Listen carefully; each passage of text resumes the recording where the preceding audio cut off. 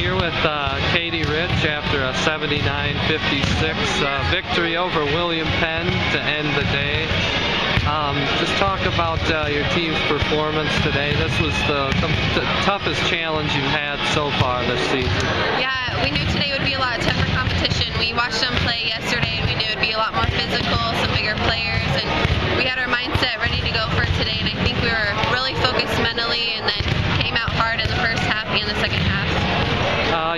really active on the offensive glass, six offensive rebounds. Uh, is that something you were you were looking to do today? Be really aggressive there. I think we all had the mindset of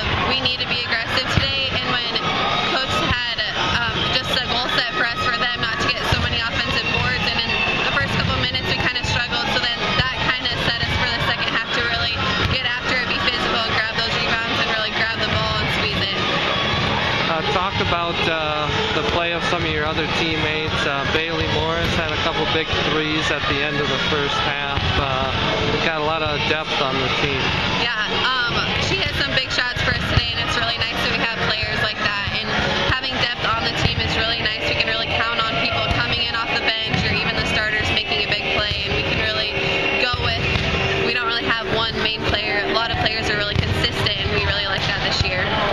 team will be able to get comfortable at, at home here for a while. Uh, talk about uh, what you look forward to with next week. You got a few home games. Yeah, we were pretty excited this weekend having two home games right away, and now that we've settled down, we know we really need to take care of the ball offensively and really focus in and make sure we take